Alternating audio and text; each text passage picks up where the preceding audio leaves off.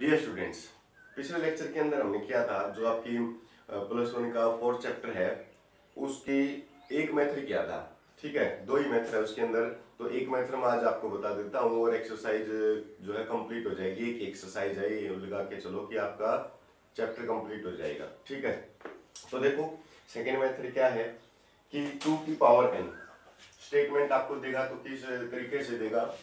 तो ये देगा टू की power three N minus one is divisible by divisible by seven ठीक है? ये क्या होना चाहिए? सेवन से डिवाइड होना चाहिए। तो देखो सेवन से डिवाइड हम कैसे करेंगे?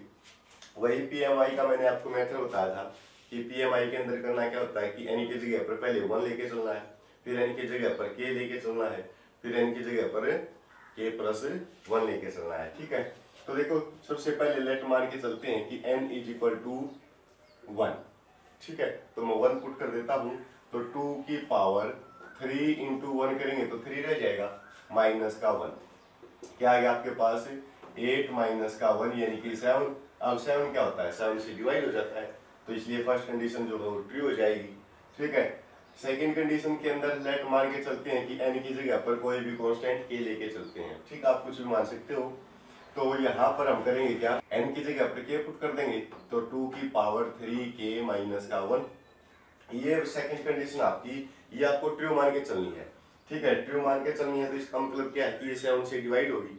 अब मैं मान के चलता हूँ कि ये सेवन से डिवाइड हो जाएगी। अगर सेवन से डिवाइड होगा, कुछ ना कुछ तो आंसर भी आएगा हमारे पास।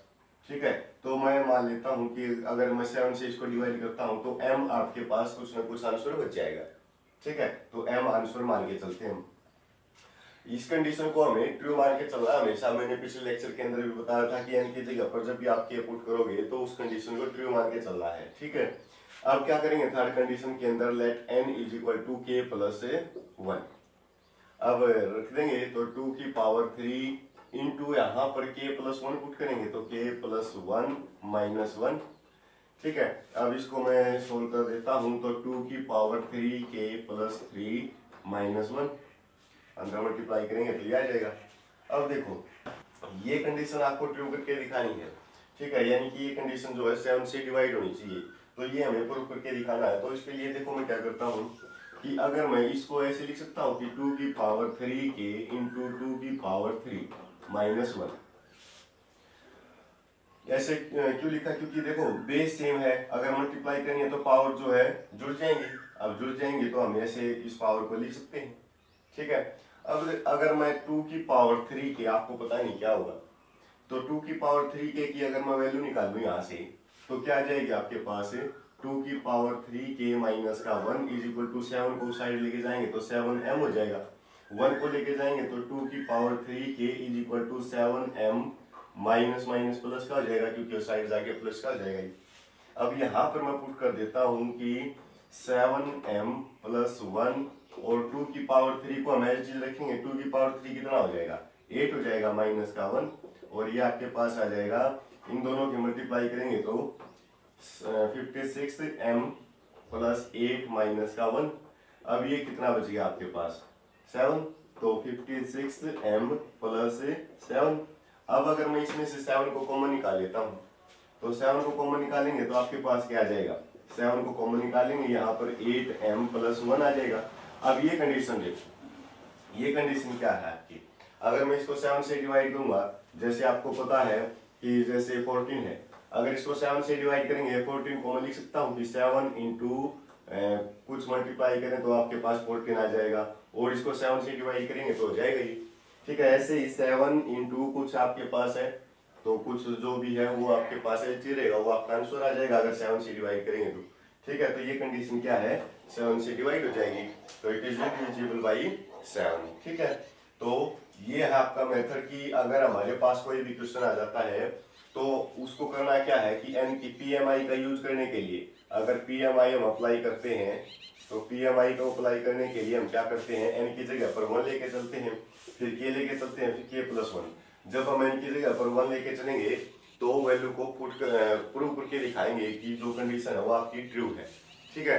और एन की जगह पर के मान के चलेंगे तो उस टाइम पे हमें क्या करना है? सेकंड कंडीशन के अंदर हमें मान के चलना है कि जो कंडीशन होगी, वो ट्रू होगी.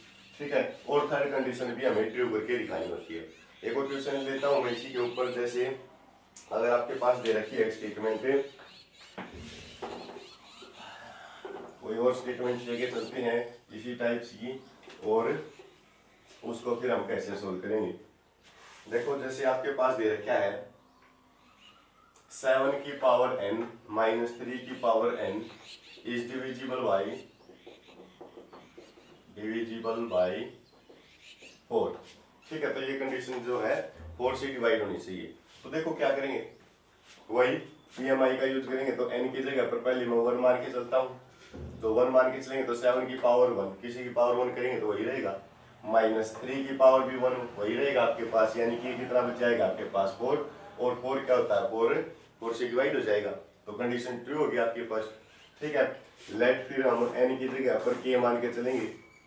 अब के मान के चलेंगे तो क्या आ जाएगा आपके पास? सेवन की पावर के माइनस थ्री की पावर के यह आ जाएगा।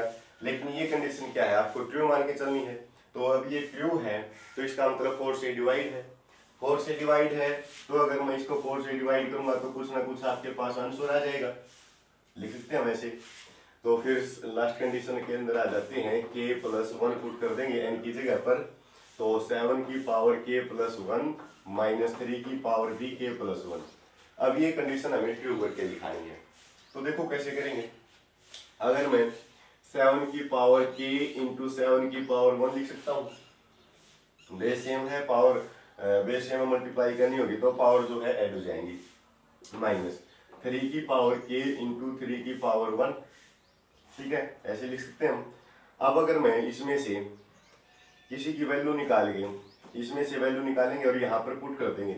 ठीक है, या तो सेवन की पावर के की वैल्यू निकाल के यहाँ पे पुट कर दो, या थ्री की पावर के की वैल्यू निकाल कर यहाँ पर पुट कर देंगे। ठीक है तो मैं यहाँ से वैल्यू निकाल लेता हूँ। सेवन की पावर के की वैल्यू निकालेंगे। फोर को साइड लेके जाएँगे तो सेवन की पावर के माइनस थ्री की power k is equal to four m अगर मैं थ्री की पावर के को साइड लेके जाऊँगा तो फोर एम प्लस का थ्री की पावर के आ जाएगा आपके पास।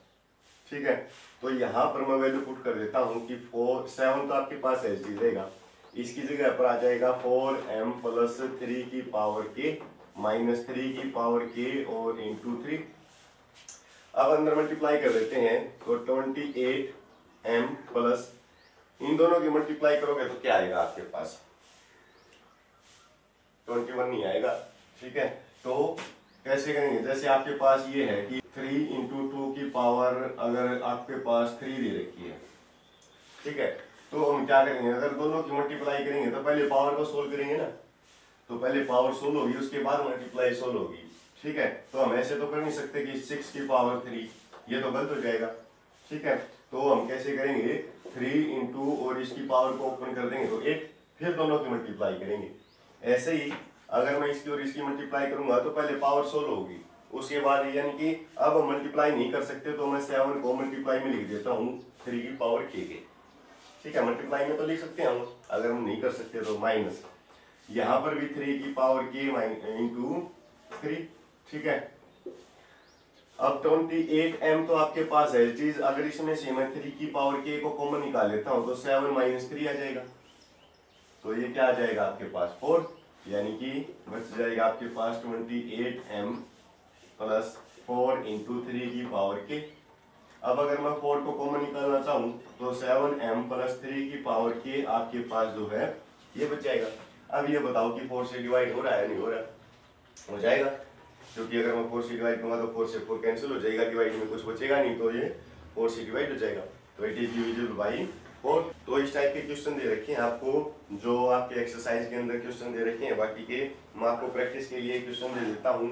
ये आपको करना है।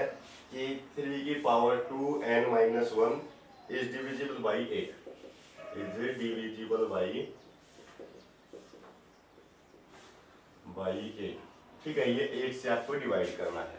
ठीक है, उसके बाद दो क्वेश्चन मैंने आपको करवा दिए हैं। एक क्वेश्चन आप ये कर लेना प्रैक्टिस के लिए। ठीक है, अगर आपके पास मैथ है तो फिर आप उसमें से बहुत सारे क्वेश्चन दे रखे हैं। आप प्रैक्टिस कर सकते हो।